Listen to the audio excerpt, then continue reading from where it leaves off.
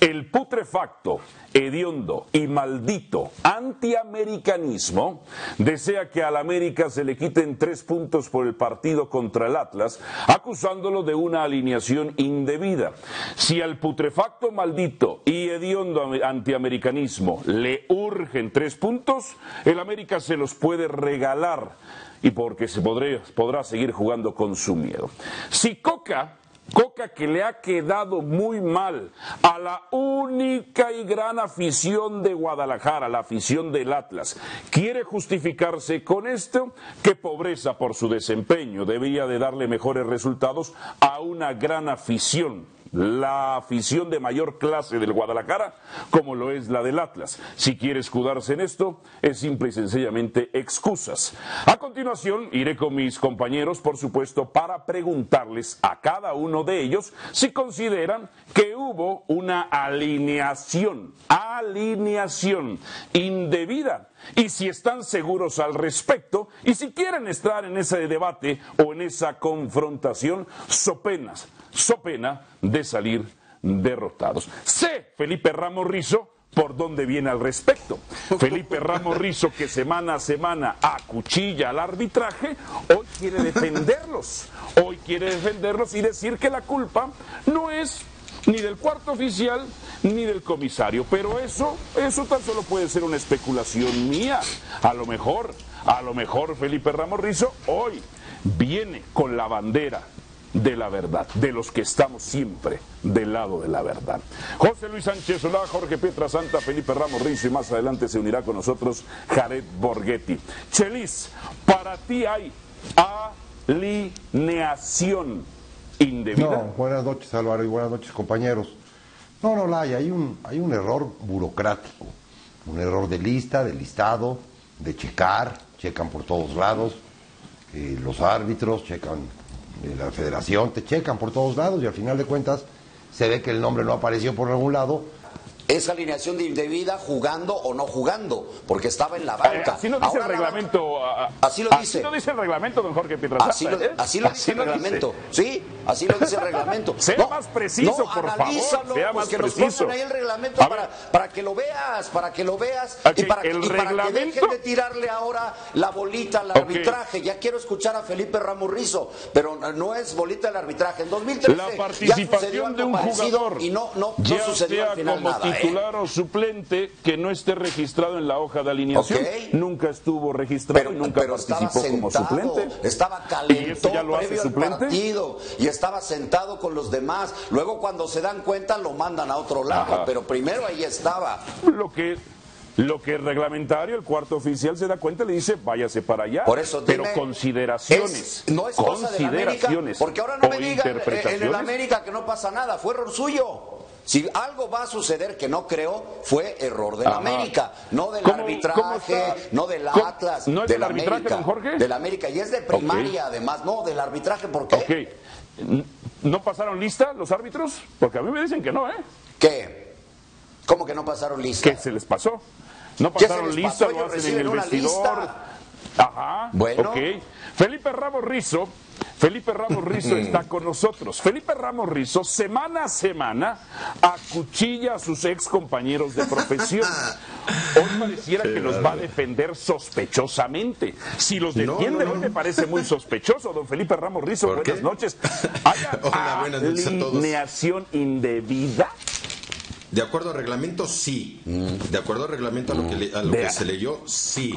Mira, eh, aquí el, gran problema es que cuando los... Les voy a explicar algo del procedimiento. Cuando los árbitros llegan al vestidor, abren su computadora y ya tienen la lista del América. Desde ahí se percatan que América iba con únicamente nueve jugadores. Cuando el cuarto árbitro... Claro, claro. ¿Ah, claro que se percatan. Sí, por supuesto. O sea, le consta que ustedes se percataron ellos. Sí, pero por supuesto. Ellos tienen que revisar la lista en la, en la lista de alineación. De algo? Que, que, perdón, que América sube a la página de la federación, nada más van nueve suplentes. Van a revisar al, al, vestidor y revisan que son nueve suplentes. ¿Sí? Así fueron. Claro, siempre se hace. Pregúntale ah, a siempre se haga no quiere decir que se les escape un día o no. No, no, no, pero ¿cómo se les va a escapar si nada más hay nueve suplentes en la lista de alineación, Álvaro? Pues, ¿cómo se les va a escapar? Casos, se han dado en el arbitraje, Felipe, si hay árbitros que olvidan sus tarjetas. Perdón, pero nunca habíamos visto una situación de una alineación indebida. Ah, nunca lo habíamos visto. pero, ¿alineación? Alineación. ¿Qué dice, el reglamento y como te lo dijo Pietra? Ah, o sea, un jugador que no está en la lista de alineación, pero que sale de suplente y está en la banca, ¿es una alineación indebida? estaba sentado, a ver, no dice que esté en la banca, que esté en rol de, tú dices titular que por qué el árbitro, que por qué el árbitro lo dejó no estar allá arriba. Eh, Felipe, si tú dices que se percataron. Con esto, espérame. Ah, Felipe, si tú dices que se percataron, ¿por qué después lo mandaron a la banca? El tema de las tribunas es que el cuarto árbitro pierde un control de la gente que está en banca, porque los jugadores están en tribuna, están en tribuna. ¿Sí? Lo malo que aquí, pues las cámaras, el Atlas y nosotros nos percatamos que Viñas estaba vestido de jugador y estaba en la parte ah, de suplentes. Nosotros nos percatamos. Todos, percatamos. Todos, ¿Y bueno, no, no te diste cuenta tú? Tan tarde? No te diste. Ah, bueno, pues no se dieron cuenta. Ah, no, se, dieron, cuenta, es un descuido. Gracias, es un Felipe. Esa era la declaración. Pero tienen, tiene la lista. Tiene la lista. Claro, claro. ¿Y la leyeron? Ellos revisaron tal y como se hace el procedimiento total. ¿Y lo hicieron? ¿Cómo? Claro, ellos fueron el, cuarto árbitro va al vestidor. la persona, perdón, la persona, en hay una persona del cuerpo técnico o, del club que lleva las credenciales a la caseta arbitral y vuelven a revisar. Es lo que platicábamos Chelis y yo antes del, del programa. Hay tres, tres este, filtros eh, situaciones en las cuales tres filtros donde revisan ah, eh, listas de alineaciones y credenciales. ¿Y cómo, al principio, ¿y cómo podía participar si no estaba registrado? No participó. Ah, no, yo no te estoy diciendo que podía participar. Yo no te lo estoy diciendo. Yo te estoy diciendo que el señor estuvo en banca de suplentes y eso lo ah, convierte en una alineación. estuvo sentado? Porque si Solari no lo podía considerar, no era un suplente. No, pero no lo podía considerar. ¿Y qué hace ahí sentado entonces? Ah, no lo podía considerar. ¿Qué, ¿Y qué hacía en la zona donde están los jugadores suplentes y vestido de jugador? Y lo mandaron posteriormente, como es el procedimiento, lo mandaron a tribuna. Pero si no estaba registrado, ¿cómo podía ser elegible? cuando se dieron cuenta, cuando, Álvaro. Cuando, cuando, les dijeron, oigan, en la tele ya están diciendo que está ahí sentado en la banca y vestido de jugador. Ay, güey, pues mándenlo lejos, porque si no nos vamos a meter en la banca. Ah, no me digas que no fue así. La única bronca que la que se hubieran metido si lo ponían a alinear. No, señor. no, no, no, no, no, no, Está sentado en la banca, en la banca ahora de pandemia sentado en la banca. No hay necesidad de que alinee. ¿Qué hace ahí? No hay necesidad de que alinee. ¿Cuál era, ¿Cómo sabemos ¿Eh? que era su calidad de suplente? Si no lo puede elegir, no tiene calidad de suplente. Podía estar en, una, en un hecho ¿Y, sentado en la banca.